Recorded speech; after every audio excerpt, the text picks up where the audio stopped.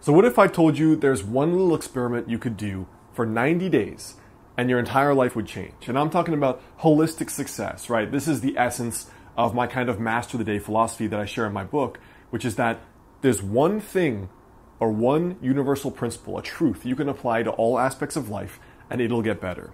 Well, in this video, this is more of a personal development challenge, but in this video, we're going to be tackling one little experiment you should do and try that will definitely change your life.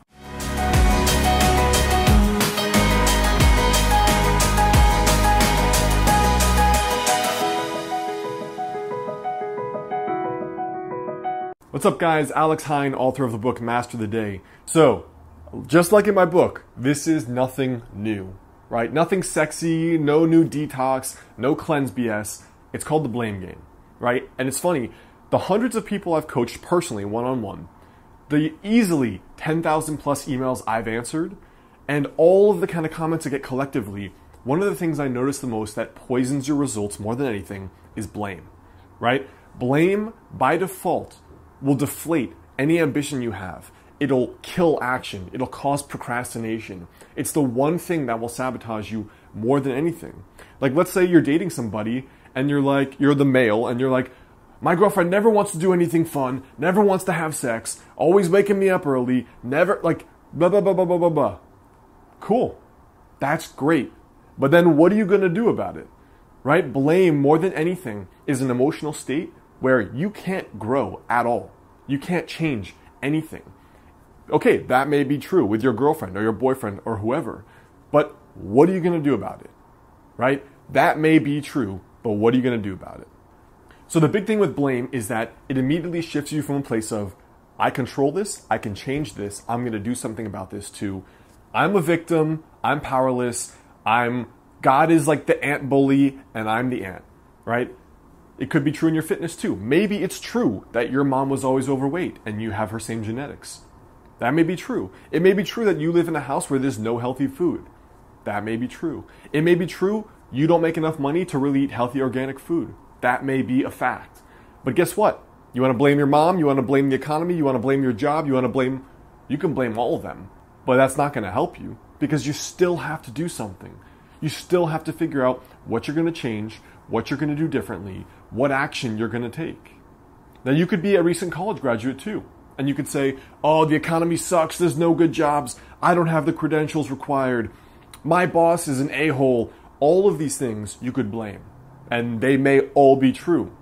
But you're going to find plenty of successful people that had all those barriers and they succeeded nonetheless. But the big thing is that blame removes any power you have to change. When you blame, you're immediately in the victimized position rather than thinking, okay, I don't have the credentials. How can I get the job without the credentials? My boss is an a hole. Okay, can't you still do great work or can't you find another job? I'm maybe not that skilled at my job. That's why I don't get paid a lot. Great, that's a fact. What are you going to do about it? Right? When you take yourself from the, oh, life is so hard, the economy, blah, blah, blah, blah, blah, those all may be true. And yet they don't help you because you still have to do something. All right, so the last one in this blame game is happiness.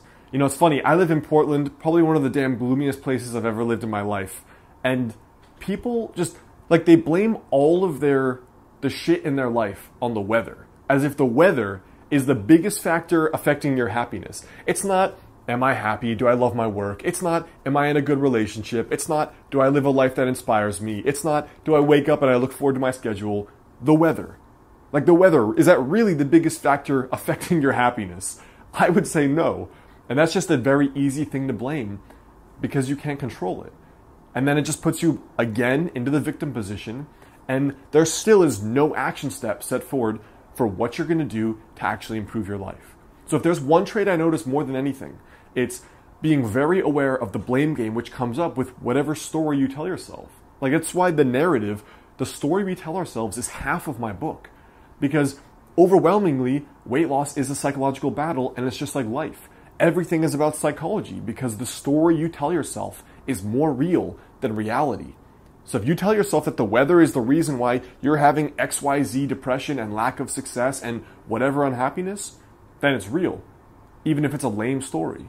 So my challenge to you today is try going 90 days and shifting from blame to saying, okay, those may be facts, but this is what I'm going to do with my habits instead.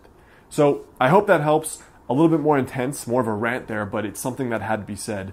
Before you go, leave a comment there below. And I want to know for you though, what do you blame the most for your lack of success in whatever aspect of life you're working on? All right, guys, so I hope that video helped. Now, before you go, the best way to stay in touch is to get my free seven day weight loss and personal development challenge at modernhealthmonk.com forward slash YouTube. It's also in the description box right there below. You can also check out my videos right here that are related and the most recent upload.